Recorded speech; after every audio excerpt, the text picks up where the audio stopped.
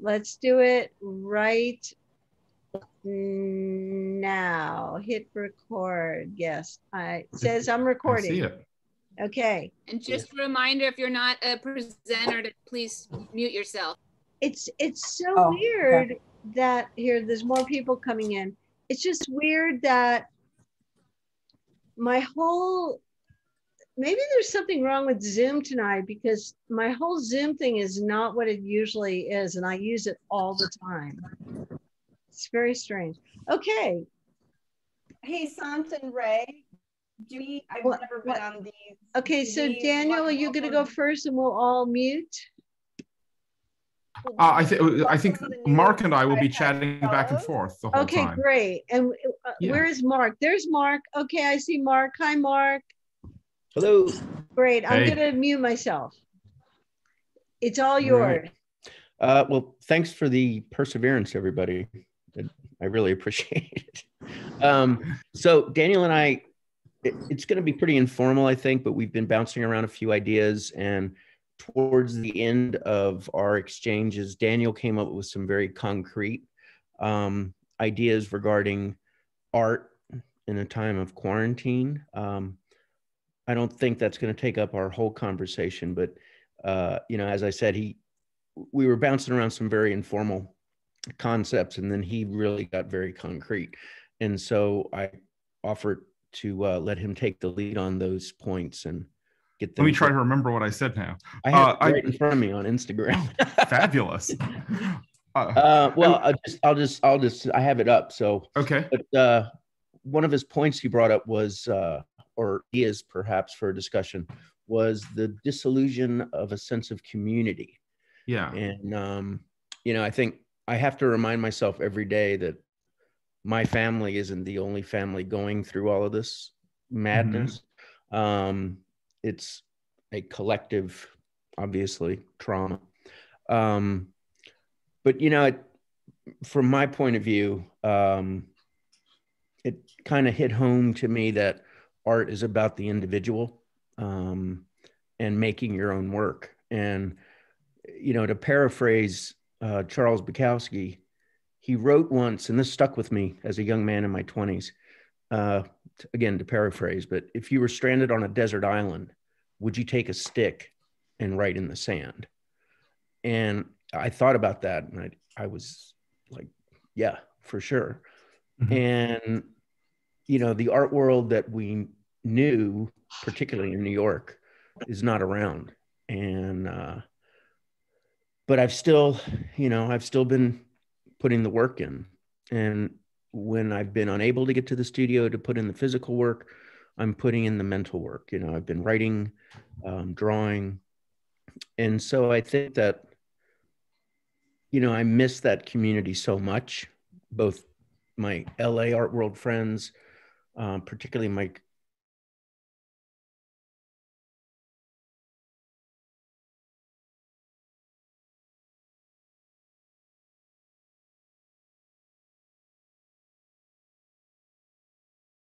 I'm not having trouble making work, uh, which is nice because I, I get the impression that that has been difficult uh, for a lot of people. But I realized that um, my uh, input stream has narrowed to you know online sources, which is very narrow. It tends to be a self-reinforcing uh, system where uh, you know you get the same positive and negative stimuli constantly, and so your work grows narrower and narrower in response to that and I miss uh, hanging out with my friends and chatting, and I miss uh, seeing work that I didn't anticipate uh, and don't necessarily even like, um, because I think it's uh, I think it's helpful and constructive to uh, you know to get pushed outside of uh, reference uh, region uh, on a fairly uh, regular basis. Um, yeah, it's going to Chelsea. I miss uh, seeing shows at the museums in New York uh, uh, wearing a mask extraordinarily uncomfortable, and I don't like to be photographed in it. So I'm avoiding being uh, being in public gatherings.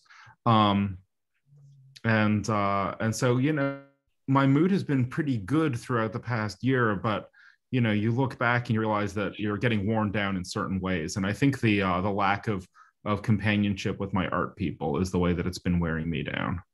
Yeah, there's a weary a, a weariness hmm to it all. You know, one thing Diane and I always half jokingly uh, talk about is trying to find a silver lining here and there. And Right. they have been there for sure. Um, you know, particularly for our daughter. But um, you know, I'm hoping that you know we've had it really easy for quite a long time, and Mhm. if you look at the seriousness of purpose in the art and literature in the first half of the 20th century, they were dealing with World War One, the Depression, and World War Two.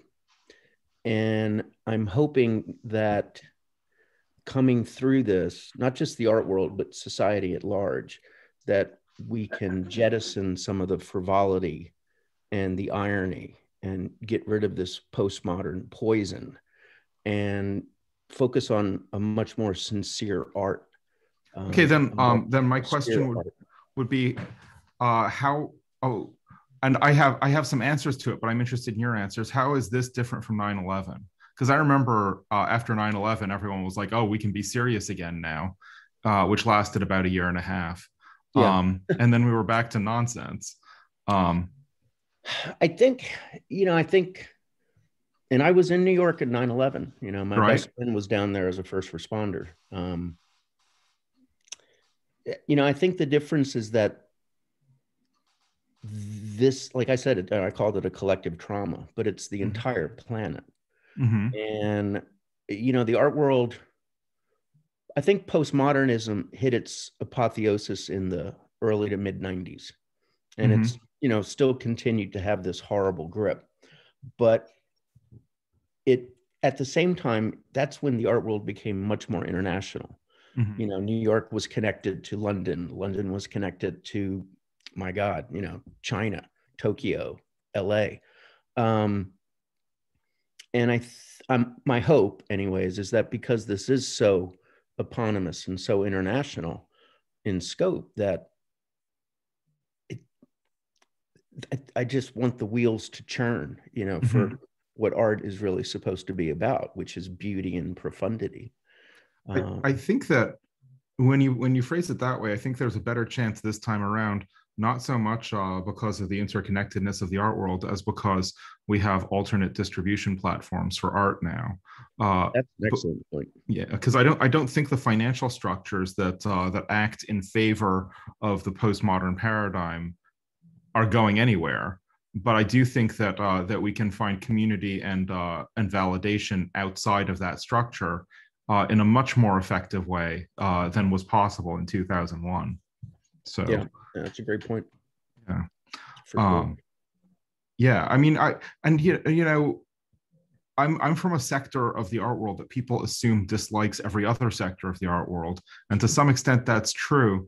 But if you make work and you mean it, I uh, I really am willing to to embrace a lot of stuff that isn't what I would ever do. I just I just want it to have like you know life and blood in it. Um, so Yeah, I mean, I remember in the 90s, uh, I was commissioned to write a review of a Jason Rhoades retrospective at the Whitney. Mhm. And I, I fully intended to write a bad review. And then by the time I did the fifth draft, I realized that I made the guy look awesome. You know, just, you know, it's not it's not my stuff, but there Mhm. was a certain point where intellectually there was nothing negative I could really back up. And Right. yeah, so I totally understand what you're saying. For Yeah. sure. You know, but So- I think you and I both, and we're both writers, but I think Mhm. we both traffic in, well, obviously a much more traditional uh, focus in art, Mhm. you know, towards austerity, towards beauty, towards atmosphere, certain profundity. Yeah. So yeah, totally. yeah. Um, so how's your studio practice been during this time? Ironically, as much as it's been whittled down because Mhm. my family and I basically fled the city in March. Where have Um, you been, where have you guys been? Fishkill, just south Okay. of you, actually. Okay. Frozen, beautiful Hudson Valley. Wonderful. Um, we've been at my in-laws, and Uh-huh. when school started back up, albeit part-time, we've been going back Mhm. and forth. You know, we always loved coming up here, but once we lived here for six months, the lifestyle was so fantastic that we just really fell in love with it. But any event, I ended up, I think I went seven weeks without being in the studio. And um, then since then, been very consistent getting in at least once a week. Mhm. Um, I think I've gone three times a week, a few times. Is it still in the city? Yes, in Brooklyn. Right. Okay. Um, but it was it's interesting because it was so incredibly productive up to the time we left the city Mhm. in March that even this limited amount of time I've had in the studio, um, it's been very focused and it's been extremely productive. Mhm. Um, so I feel like I haven't lost a lot. And again, as also being a writer, I feel like my creative output hasn't dimmed. Uh, Right. writing a lot. Uh, again, I've been drawing a lot. And, Mhm. you know, my time in my notebook always seems to inform my paintings, be it Mhm. um, from a literary angle or from a visual angle. Right. Um, it's good. You know, I, I, yeah, I can honestly say that creatively it's been good in terms of studio practice. That's great. Um, this this tangential, but I feel I feel like it's apropos. What have you been doing for martial arts while you've been uh, up in Fishkill? well, yeah, not a lot of training partners except my daughter. Um, Uh-huh. I made a real commitment to train Monday through Friday, Uh huh. um, and I've done that consistently. That's um, great. be it kettlebells or weights or Mm. you know just shadow boxing working on kicks you know i usually Mhm. have a goal to do 100 kicks a day Mhm. um, and you know sometimes deegan joins in like deegan and i were doing some jujitsu today grappling and that Very was cool. super fun so it's um it's tough though because that's a community that i re- not only do i miss them but i also know a lot of uh, career martial artists who have just been decimated um, really? yeah i mean my program i went from over 100 students to nine Mhm. via zoom so that's uh, yeah that's that's that's tough That is rough. yeah Huh. Yeah, I mean, the, we to some extent we're very lucky that uh, that there is a, a highly solitary aspect to to our creative pursuits. Um, you know, my theater friends, I I- you know, it's just going to be terrible for years for them. Like much much a much deeper impact than it than I think it will be for us, practically speaking. Um, you know, I uh, I couldn't get to the studio from March until September. My I, okay, so I uh, I live in Kingston, New York, but my studio is in Brooklyn, uh, which is about 90 miles south of here. So I take a two and a half hour bus down to my studio, uh, and the general plan since we moved up here has been uh, two days a week at the studio and five up here, uh, which was completely uh, impossible for much of the year. Um, so I switched basic, and you know, I don't really have a convenient painting space up here, but I didn't really feel like painting either. So I've been drawing all year, um, and uh, you know, I usually work with uh, with life models when I draw, uh, and I've been working from photo reference, and I found that um, it uh, it changed what I was doing from uh, an emphasis on life and form to an emphasis on on color and light. Uh, it was like a very much more solitary and meditative uh, way of working, and I could fiddle around forever to get really complex effects. So it uh, it opened up some formal avenues that I probably wouldn't have pursued quite as much if I hadn't been completely on my own. Um, so I've been really happy with the work that I've been doing uh, with with drawing, and uh, and you know, just in the past week, I've felt like painting for the first time in a year, and I painted a painting, um, and uh, I was relieved to find that I hadn't gotten completely rusty. Um, and then, uh, but I've also been writing a lot. So I, I finished uh, a draft of the novel that I'm working on. I wrote some art criticism, and uh, we've been homeschooling. So I've been spending a lot of time parenting, and uh, and that's a lot of fun. My little kid is heavily into electronics, so we've been uh, we've been build, building like like you know soldering together and uh, making little synthesizers and blinky lights and things like that. Uh, so, and it's a very weird year. And I was trying to explain it to somebody that, like, you, I don't know about everyone else here, but I've always had a fantasy of like getting locked in solitary confinement and wondering like how productive I would be if everything else were eliminated. And it turned out that uh, that you that and and also the part of the fantasy is that it, it doesn't suck um and uh this is exactly what this past year has been it turned out it was really productive and i had i had mostly a really good time i just miss people so Why were you fading away from painting initially? I don't know. I um I just I did a bunch of paintings for a show uh, at the end of 2019, and I was about to start up a new process, uh, like a new type of painting uh, in 2020. And then you know, um, but I, it was it was slow going getting a start, and I wasn't quite sure what I wanted to do. And then there was the apocalypse, and it sort of seemed to just fall by the wayside. And uh, and so I I didn't I didn't feel a need to like make myself paint. Um, and when I got back to the studio, I didn't especially feel a need to paint. Uh, I was doing a lot of drawing while I was at the studio, and uh, and then this past uh, past couple weeks, I just felt like painting again. So I I started painting. Awesome. Yeah. Another uh, great idea that uh, Daniel came up with when we were going back and forth was um, to quote the dilemma of weather and how to incorporate the present into work. Oh yeah. So that was your baby. What do you thoughts there? I mean, I, it's it's interesting because I've had this sort of I think among the many luxuries of living in a relatively ahistorical period, the way we have been for much of our lives, is that the background is fixed. So you have a sort of like a fixed context within which you're making work, and the work can uh, can exist. All the dynamism can exist in the work itself, uh, and you can assume for yourself and for your audience that the um, that the ideas about what the world is like are are stable. And now we're in a situation where our understanding of how things work is different from the way it was four months ago. Four months ago, it was different from the way it was four months before that. None of us can anticipate be like in four months.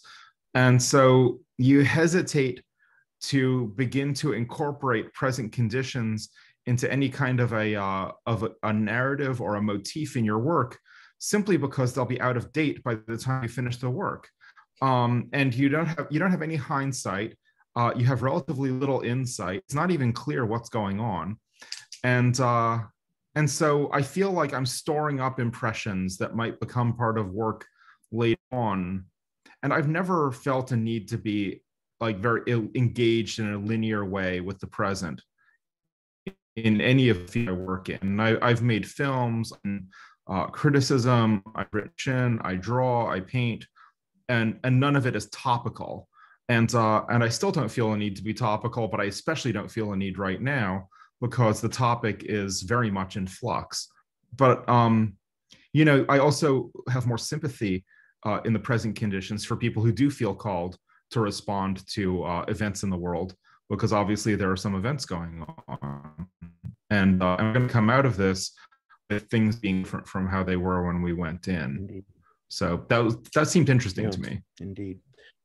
Could Yeah. we touch on your opinion of the objectivity versus subjectivity of art?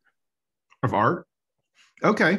Um, let me um because I've got some ideas on the nature of subjectivity.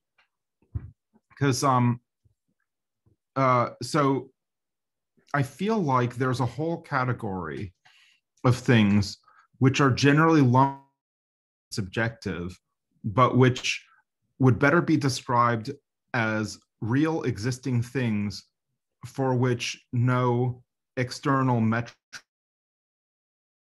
established. So uh, things like revelation are in that category. Um, and uh, and there's no doubt that one has a real experience of one's uh, moods, that they have an objective existence. Nonetheless, they cannot be, you know, detected properly with instrumentation, which we can all agree on. Um, and uh, and so for me, uh, a great deal of uh, of art amounts to an attempt to create uh, a sort of an external formal counterpart to real internal conditions uh, so that we can communicate our experience with one another uh, when in as regards those experiences that are not immediately available uh, by means of their pre-existing uh, external circumstance. So that that's what I think about that. what have you got? good. That's good. No, I'm just um, I was curious to get your thoughts because I'm very much of the mind that art, and for those of you that have uh, worked with me at all like during a Kipaipai workshop, I've made it pretty clear that I view art as a very objective thing. Mm-hmm. but important and what shall we say, lackadaisical work. Um, you know, I ah. used the example last year in Rensselaerville during my talk that objectively, I realize that the Beatles are great, but I don't want to listen to them. You know, I'll stick with Miles Davis and Iron Maiden. Um, mm-hmm. And I think that uh, the objectivity has played itself out and as far as proof through the centuries you know you look at what stands and what holds up um, you know and uh, when we were having our back and forth on instagram messaging you know i mentioned my joan mitchell moment and i see that as a pretty good uh, testament as well because you know i wrote again another piece of my writing uh, of her retrospective at the whitney and it was while i loved her canada series i think it was a small series of only three to five paintings. Um, it was a pretty brutal review. It was a pretty brutal discussion of her work. But in hindsight, I noticed that I always kept going back to her work. And there was a period, the last show uh, she had posthumously at Chime Reed. Um, I think Deegan was two, and Diane was with us also. And I just remember watching Deegan react to the paintings. And there was this moment, this epiphanous moment, where I realized that I hadn't been looking at these paintings the right way, that I was completely backward in in the intellectual process I was taking with this. How was she you looking know, at? Young guy. Mm-hmm she was uh, it was the, the the title of the show was trees so it was a very very landscape based show of her work from i would say early to mid 60s 1960s and deegan's eyes were just like basketballs you know and she she was seriously looking at these paintings um and i realized that i had been looking at her work as a young guy in my 20s that read too many books you know i wasn't i wasn't experiencing them the proper way mm-hmm. and i actually came upon a few other artists you know and realized that i wasn't looking at their work properly mm-hmm. you know mm-hmm. and i think that when i'm i'm a big fan of clement greenberg uh, mm-hmm. obviously um, and he very cogently discussed the objectivity of art and when I began to see mistakes I had made in, you know, quote unquote taste, that's when it really dawned on me that it is objective. You know, you can be right or you can be wrong. You can like what you like, you can dislike it. But I think, and again, it goes back to what you mentioned about enjoying work that you don't particularly like somehow. Mm-hmm. Uh, me writing about Jason Rhoades, that's where you're you're trapped in this loop. You know, you can't get out of it. It's objective. It's either good or it's not.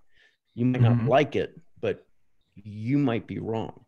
You know, and a great mm-hmm. thing that Greenberg said, you know, he kind of comically wrote about what he called the gray area. And mm-hmm. he said that was the fun part of art. And the gray area, as he refers to it, is where, well, you know, we have um, Shana here. You know, if Shana and I mm-hmm. walk into a museum she's I just called her a robust intellectual this evening. But mm-hmm. you know, if we went to a museum and we're standing in front of Malevich, mm-hmm. and she is over. Yep. See, she's just all. I shouldn't have picked Malevich because I love Malevich. But anyways, um, the point being is that because to me the Impressionists are the Beatles. Okay, let's do that. All right. So we go because I love the Impressionists. You know. Mhm. Um, so we go in and we're standing in front of. Take your pick, Mhm. and Shane is shitting all over it. You know, that's the gray area. It's where two people who should be in the know have this strange digression. Mhm. You know, um, another great example is, oh, man, maybe 15 years ago, I went to Gagosian Gallery with the great New York painter Pat Lipsky, Mhm. and it was a Howard Hodgkins ep- exhibition. And I remember we didn't talk for like 15 minutes. We're just walking around. And all of a sudden, Pat said to me, These are breathtaking. And I said, Pat, these suck. And she looked at me and she goes, You might be right, but I have to think about it. And it was, you know, and again, it was just this awesome moment that was really so fun um, that to diverge like that.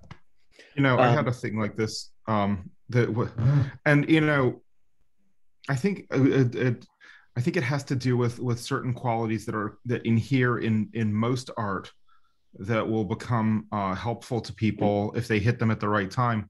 I had this friend who just didn't get art, and I dragged him to a museum, and I was like, "God damn it, we're just going to keep looking at stuff until you get it."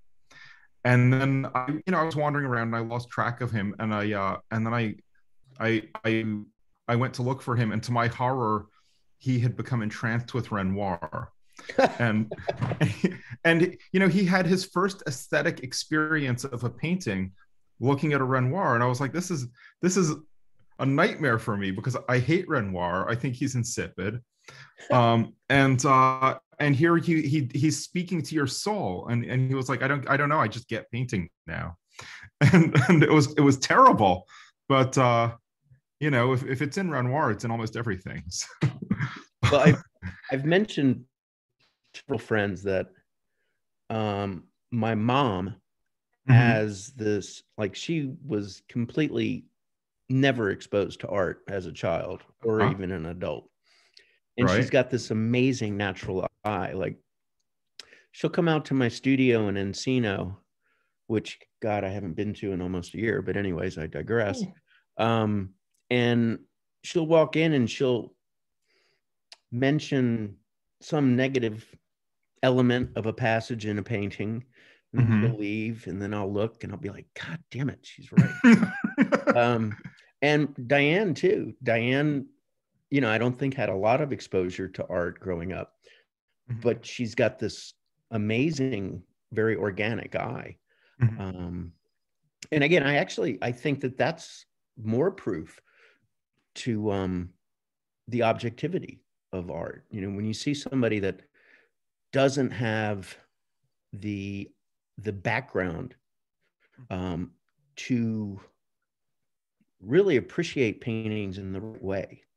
Um, i think it's i think it's really important. I, I and it's awesome to see. You know i love you know i love sharing art with diane just because it's so cool to see what she's going to come up with. Mhm. Um, yeah. You, you remind me of uh, a bunch of uh, people from my dad's generation whose introduction to classical music was these sort of like, um, you know, compilation records that you could get uh, like at the grocery store or something that, you know, were not especially well chosen or well performed, but it, it, it opened up that entire world to them because it was there. And, and because, you know, no matter, no matter, no matter what element of that uh, universe you looked at, uh, once you were ready to enter that universe, it held the potential to reveal all of it to you. Mhm. Um, I think I think that all there, I think there's certain art. You know, when if when you when you describe the experience of art that way, there's some art that oh, there's almost all art that ha- that has like certain formal qualities that if you're approaching art at basic level, then yes, it's amazing, even if the work is terrible. Um, and then there's art that uh, like if it hits you at the right time in your life, it's profoundly moving. Uh, and you can miss that that opportunity, or you might be the wrong person for it. Uh, and then there's like there's certain pieces that will make you in person for the work. uh, like Las Meninas will change you uh, in in many cases. Like it will make you ready for Las Meninas uh, when you find yourself in front of it, because it's that powerful a piece of work. Um, so the, yeah, there's a, there's a whole cosmos of opportunities and and and options uh, that art uh, that art presents. Uh, you know, in in ter- in, ter- in terms of that, um, that, that, I think that, I think that that is a proper subjective experience that you're describing, uh, even though the art itself um, does does contain objective uh, properties and values that um, you know that's why we have criticism. Indeed. Actually, So we- to that point, I remember uh, Deegan and I were at the Tate Modern uh, last year, last February, actually. And um, we were sitting in the Rothko room, Mhm. and this couple came in who, you know, to be critical of them, I would say they clearly didn't know anything about art. They were jabbering away. I think one of them was scrolling and I was immediately pretty pissed off. Mhm. The cool thing was the instant they fully got into the room, they fell completely silent. Ooh. And that to me to my face, because that was this moment where, you know, I hate to use the word Philistines, but you know, these Philistines fell under the trance of great Mhm. art. You know, it was actually a very cool, cool little moment. That's great. Oh, there's a comment. Was that coming from you? No, no, there- I, I'm seeing a lot of them, but I haven't been able. I, I can't read and Can listen I at the same time. So This is sort of a question, Dan. You mind if I answer it? Okay, sure, so, sure.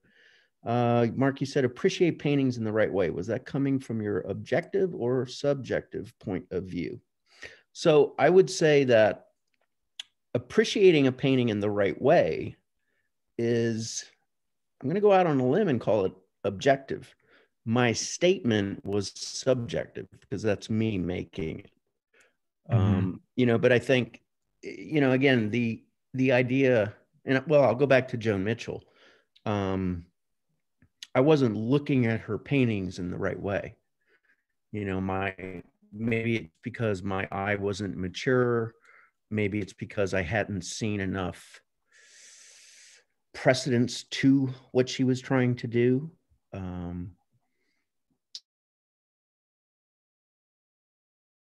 things that that could answer it, but you know, I just you know, I'm 54 now, so when I look back on myself at the age of 27 writing about Joan Mitchell, I I don't see that as mature work. You know, I, I just think I was I was missing the boat. You know, but Diane just wrote down a question, what is the right way? You know. Um it's tough. I mean, can you touch on that, Dan? What's the right way to look at a painting? Oh boy. Um. Okay. So I think you develop uh, an arsenal of techniques, uh, right? So there's a purely formal level at which you um you look at a painting uh, in terms of the elements of design. You know, color and shape, uh, texture. Uh, you know, the arrangement of the elements uh, in an overall composition. Um, and within that very very basic framework, it is possible to distinguish uh, composition which has pleasing qualities because of uh, certain uh, near symmetries or uh, exciting juxtapositions or um, uh, you know any anything else that you you can do to versus bad. And i think that i think that we can all recognize when a composition is bad at the very least because it's Hmm. boring. Uh, we might disagree about why a composition is bad if it's interesting but if the composition is boring then we would all say this is boring. And uh, once we get beyond a very um, like infant level of visual processing we all kind of agree on what constitutes boring. Uh, we might not agree on what constitutes good uh, but interesting is obviously better than boring um, so this very basic uh, formal level at which we can uh, appreciate art um, and then beyond that uh, what you have to do is you have to make your peace with the legitimacy of the idiom. Um, so for me, for a long time, I was not willing to credit abstract expressionism with legitimacy. I still have a great deal of trouble um, with pop art as a legitimate uh, mode of artistic expression. Uh, postmodernism, I find uh, objectionable, but I'm that I'm unwilling to categorically reject things at this point. So once you fail to categorically reject something, you begin to investigate the um, the properties within that idiom that yield work that is beautiful and meaningful. And those rules are not the same from idiom to idiom. And certain work will create its own sui generis uh, category, but most work falls in a large. You begin to learn what the properties of that category are. So I'm a figurative art. Expressiveness of, of the face is a huge big deal in figurative art uh, of the highly rendered sort that I favor. And so we learn uh, stronger facial reading, and we learn to appreciate the deftness and the inventiveness and the subtlety and the uh, sensitivity of portraiture. And that's to a person who doesn't look at it, it's like a person who doesn't listen to rock music who says it all looks the same. Um, but once you start to really learn about it, there's a world of difference, you know, between Rembrandt and Van Dyck. These are two two people with two profoundly different uh, outlooks, and those result from profoundly different understandings of human nature and emotional and psychological emphases. Uh, and it doesn't make one better or one worse, but uh, it does. You when you begin to appreciate those differences, you begin to be able to elucidate the objective properties of work that are not immediately obvious. And this applies to the properties of work uh, all across um, all across all across the visual spectrum. So the impressionists, uh, under their own rules, are very interested in the fidelity of their depiction of color, not necessarily to real color, but to the psychological experience of color. And you can compare and uh, and rate the impressionists in terms of their uh, success and failure at evoking a vivid sense of mood. And for me, this bleeds out of Impressionism itself, and you can see it across uh, late 19th century painting, and uh, and even in a great deal of um, the much more finicky uh, uh 20 late 20th century and contemporary painting the doctrine of the psychological quality of color in scenes that are recognizable is something that art has inherited from the impressionists.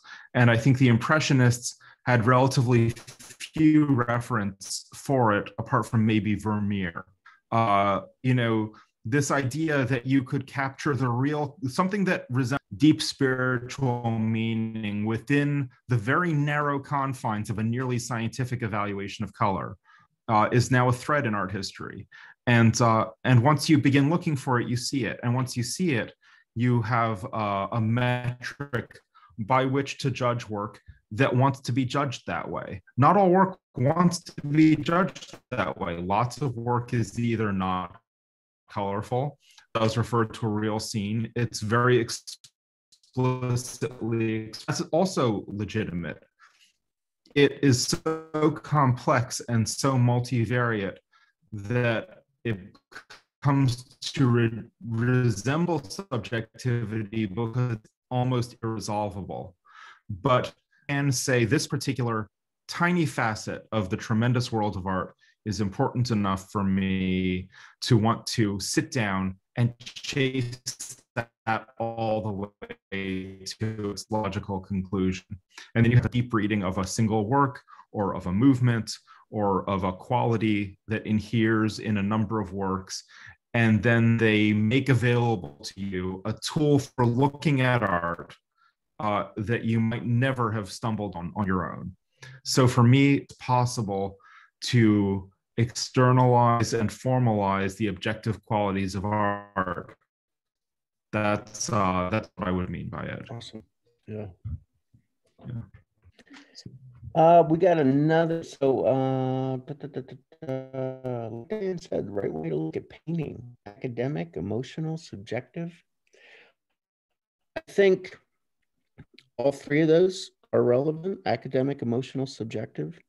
Mhm. Um, you know, you bring your subjective views to art, but you know, as I was saying, in the end, you're either right or you're wrong. You know, art is either good or it's bad Uh-huh. and the art of art where you know shana and i can go into a museum and disagree vehemently over name your impressionist of the month um, One of us would be right. i bow to your altar so know. um but you know it's also i think and i think i learned this looking at abstract painting that very formal abstract you know strong new york abstract painting that didn't jive with me aesthetically and i i think i honed the tools to look at formally and to process what was going on in the painting. And you know again i think that that's that points to the objectivity of art is that um, well again you know daniel was alluding to it of you know enjoying the art that he doesn't really like. Um, there's a lot of very rigorous painting in new york that I- i can't really relate to but after you know 20 some odd years of working at it i can appreciate it. Um, so i think you know I, I think that's what i meant by the right way. Um, you know looking at art can be a very it, you know obviously it's a very exhilarating experience but it can also you know there's going to be times where you have to earn the exhilarance you know you have to put that time in. You have to think about it. You have to work through it. Um, you know the first time i heard ornette coleman wasn't an ecstatic moment in my life you know? Um, i heard dissonance and i didn't enjoy it. But i put a little bit of time in and there was a payoff and i think that's what i mean by you know the right way to look at art so you want to open up questions dan Sure. Yeah, I'd love to hear from people. yeah let's do it I was gonna say All one right. more thing and let everybody else, but because of what you said, Mark, about Joan Mitchell and and and about um, that continuum, I often try to practice in criticism um, it, this Buddhist concept of like examining your resistance. So when I come up against something that I absolutely like can't handle it, that that's so crazy. What the bu-" I, I make a point of like stopping for a minute and asking myself why I feel so strongly. And it's just what you said about interesting versus boring being maybe a better question than good versus, you know, and so, uh, you know, that's, that's another, an, another dimension that kind of you can trick yourself into transcending your own taste Mhm. spend some more time just to make sure. And then at the end, I often find myself saying, Oh, I get it. I see what the artist's intention was. They definitely got there. Maybe it still isn't a place I want to go, but you know, well done. I'm glad I stayed here for a little while longer to get to the end of that riddle. Um, and I, to my mind, that's a kind of i mean right way. Yeah. I think that's a fantastic uh, approach. Like I think of it as like the leap of faith or um, uh, negative capability, but tricking yourself is the same exact thing. Yeah, I I mean the first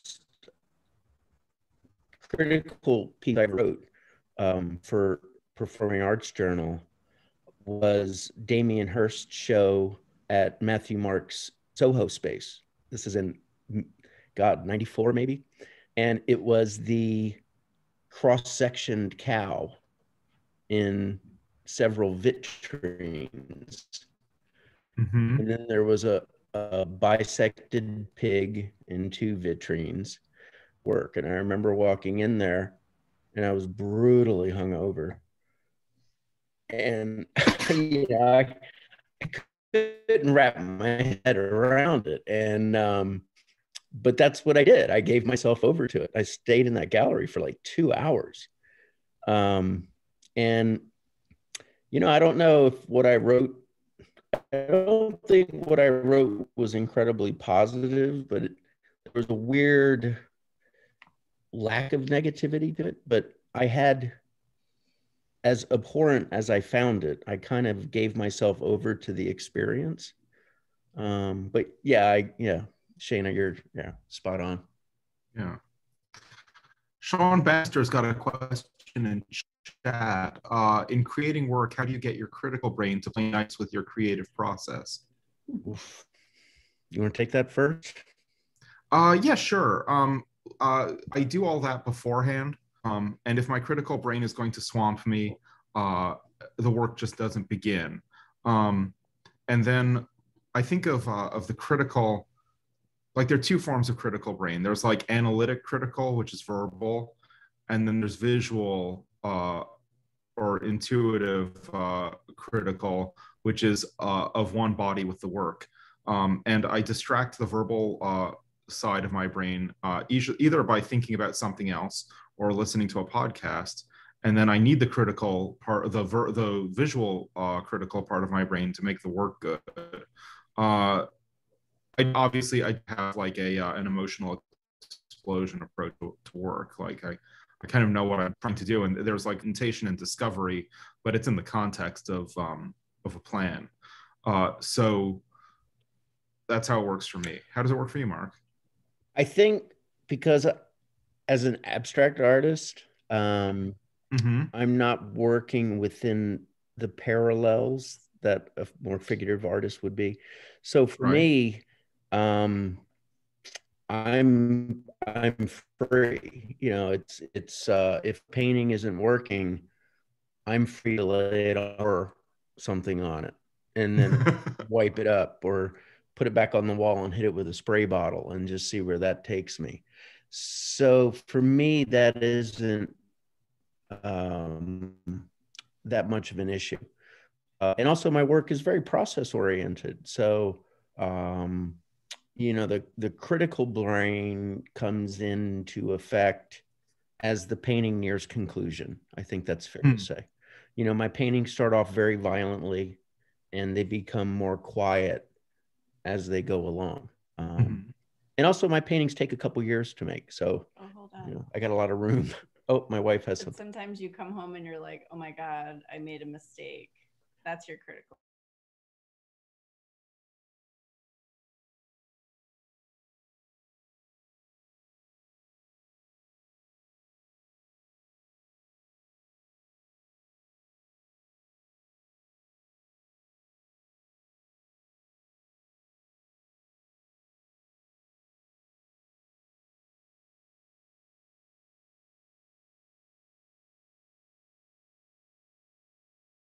by circumscribing what you're doing within those very strict rules, uh, you you achieve a great deal of liberty, and uh, in be in staying awake to the subtleties of the of the events inside of that arena that you've given yourself, uh, and so you it would be extraordinarily important for you to both uh, have committed sense of consciousness, but also a very um, involved critical apparatus, uh, so that you can make things that are living, uh, and then call bullshit on yourself.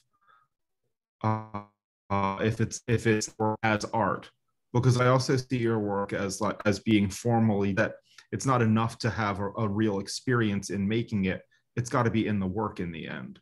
Um, so that's my guess about how things go with. No, you. I mean that that's that's totally spot on. Totally spot on. Uh, um, I mean, the other night, Wednesday night, I was in the studio and um, I was working on one painting in particular that was just rapidly going south, so to speak. And um, it was stressful to a certain extent, but by, the, you know, as I said, I've got a lot of freedom. So I know that at a certain point, I'm going to turn it around. And again, this might be a painting that I work on for three or four years, but, you know, there's been a lot of those paintings. Um, but I have to, it has to work, like you, you said the word arena, you know, which I love, you know, it has to work within my arena. You know, I'm not mm-hmm. going to throw something out there. Um, mm-hmm. But, uh, you know, sometimes they're harder than others. Yeah. yeah. Sure. Night, Mark, can you hear me? Yes, Catherine. Mark? Yes, my dear. Um, when you say you have a lot of freedom, what exactly do you mean?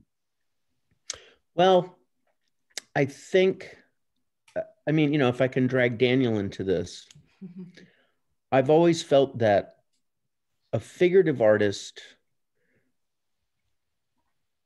has their vehicle. And it's you know and obviously there it's very there's a craft to it. And then you inject the art into it. And that's what makes it important. You know, that's why i think daniel's work is so important is that there's an atmosphere to it. Uh, with volume is very different. You know there's a lot of very powerful points to his work but it's in a very strict paradigm as an abstract painter you know god i mean if a if paint splatters on painting while I'm working on another painting, I can paint it out, I can incorporate it. It's just there's a uh, and also it is in that um, there's a lot of trial and error. So when I show up to the studio, there's no warm up. I get to work, and if something is not working, I paint it out, and I go back in. And I think that's that's a freedom that some artists do not have. Um, my friend, great artist James Austin Murray, works in oil and works with very large organic gestures. Now, he has the freedom, particularly since it's oil. You know, if this gesture doesn't work, he'll make another gesture. But by the same token, there is a deliberate to his making of a painting that I don't have to adhere to. Uh, and from a technical standpoint, one is because I use acrylics. Um, so if something doesn't work, I'm painting over it.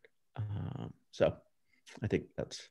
So, so the question then would be, Daniel, do you um, regard that you have a, a, different kind of freedom because yours you're dealing with the figure and maybe there's a more restrictive history it's uh it's interesting i i think that uh we find uh the, our um our loci of freedom in different locations.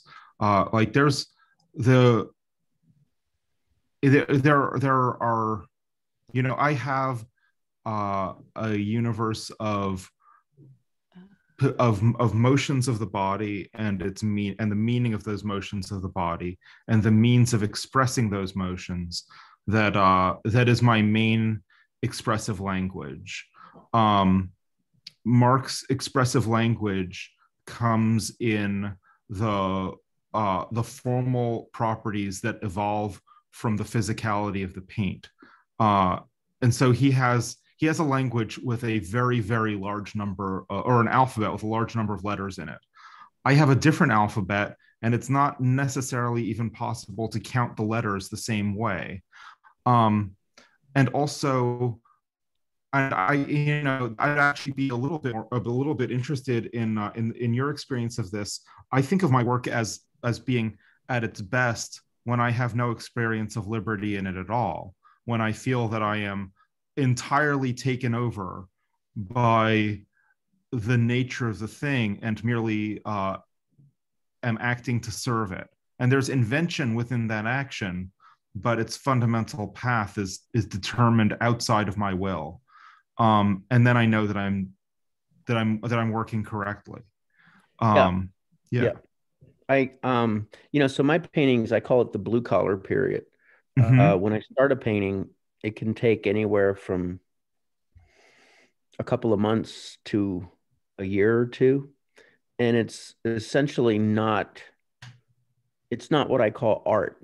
It's blue collar work. You know, it's working on plumbing or putting up a wall. You know, I'm taping off lines. I'm freehanding lines. I'm figuring out composition. And then at a certain point, the painting takes over. And that's when the art starts happening. Mhm. Uh, I think that's a quality that you know Daniel was alluding to there. Um, but again, you know, it's it's a it's a process oriented practice. It's you know going in, getting started, work, the work that needs to be done, and then you know there's the beauty of discovering something that is art in what you have done. that's really marvelous Thank you, sir. Uh, Lori has a good question here. yeah Uh, how does the creative process ping pong between the spheres of verbal and visual? Dan? uh my i'm i'm much less intellectual about my work than uh, than listening to me talk or write about it would suggest uh, it's almost completely uh, nonverbal and intuitive um i mean i can i can analyze the hell out of it afterwards but i don't really trust my analysis of my own work because i don't think i understand my work um, I, I put a lot of work into understanding other people's work, but I'm not very interested in understanding my work. Um, and uh, I just like making it. If I didn't like making it, I wouldn't do it. Yeah, Yeah, I think for me, it's um.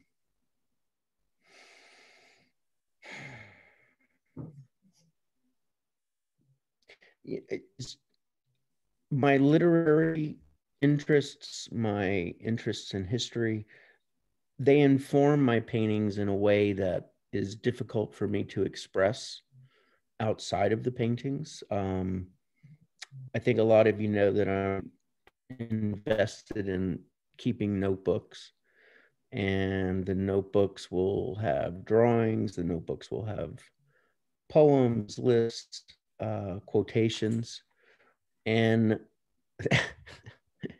um, and you know in the end those interests find themselves in my work. Um, you know i have I- did a painting in 2018 called he then traveled to rhodes to study rhetoric and and it was all about this uh, story in julius caesar's youth where he was kidnapped by pirates and at night he would tell them trying to sleep and they would. During the day he would recite poetry and they would make fun of it and he would tell them well that's all right. You make fun of my poetry. When i escape i'm going to come back and kill you all. And you know it was this this amazing you know i think he was like 20 and he had this force of personality that he could do this and he did do it. He escaped and then he tracked them down and he killed them all. Um, but because he made friends with them first he cut their throats before he hung them you know? I mean and i was carrying around that story in my head and there was this one painting in my studio that just became he then traveled to rhodes to study rhetoric and philosophy. You know there was this casual yeah he killed 50 pirates and then he traveled to rhodes to study rhetoric and philosophy as you do. Um so um yeah so i have a very personal connection between the two and i can't always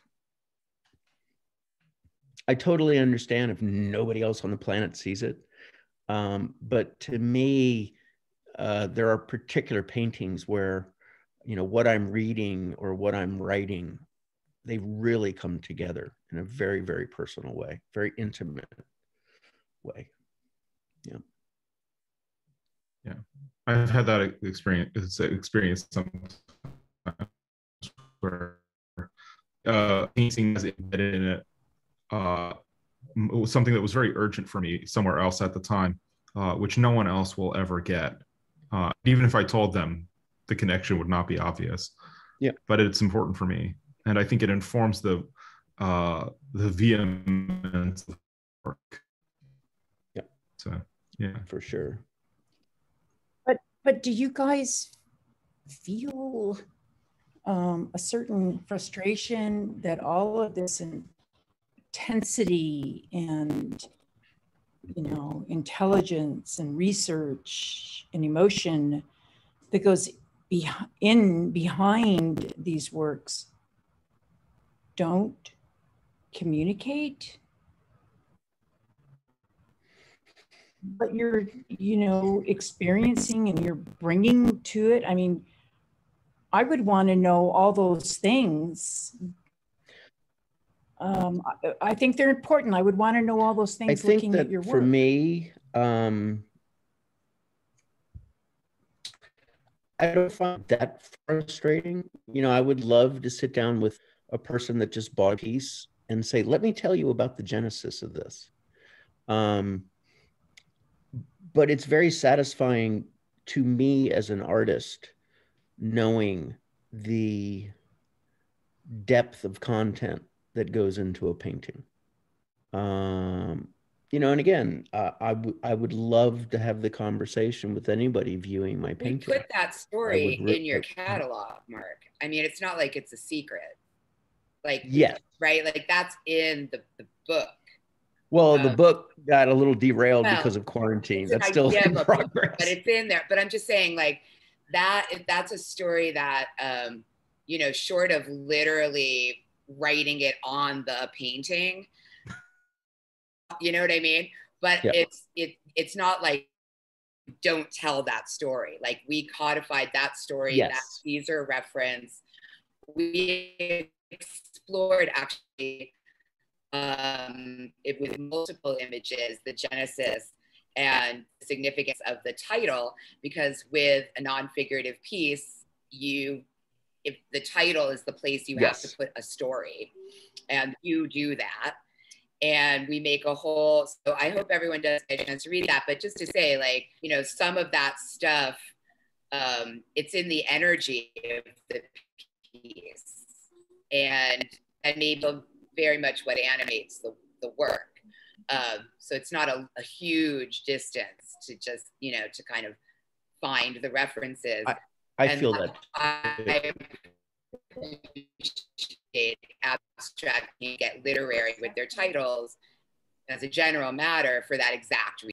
So it's it's it's a whole process where you see the work and then you have to bring um, supplemental or adjunct um, efforts in information into understanding what's Yeah, yeah, yeah, what's yeah. there. You know, uh, I mean, another painting that's very important to me um, was I called the 10,000. And, you know, again, it was me delving into my interest, interest in history. And it was the story of the uh, Greek general Xenophon, who had an army of 10,000 mercenaries who were trying to overthrow the Persian emperor. And when that revolution fell through, he had to get his men home. And along the way, they encountered the ruins of the Assyrian Empire. And, you know, the story has it that the walls were over 100 feet tall, over 50 feet wide. And it was a technology that, and Xenophon was an architect as well. It was a technology that he couldn't figure out. And he found out from the locals that it had been there forever. You know, so this is an, a far more ancient civilization than his. And yet they had a far greater technology. And so that's another thing that I had in my head. And so I'm working on this painting and it's it's essentially a white painting. It's from my white series. Um, and the complexity just kept building up. And you know, it just became obvious to me that this painting was the 10,000. So, you know, again, it's just I, you know, I have so many examples of of these elements coming into play. And it means a lot. You know, it's important to me. It, it reminds me of the story about the person who walks into a classroom and there's this huge math problem written on the chalkboard, old school chalkboard, and I'm paralleling this to your work. They look at all these marks and and you know abstract forms and say, well, I don't know what's going on here, but I know it's important. Thank you. Thank you, my dear.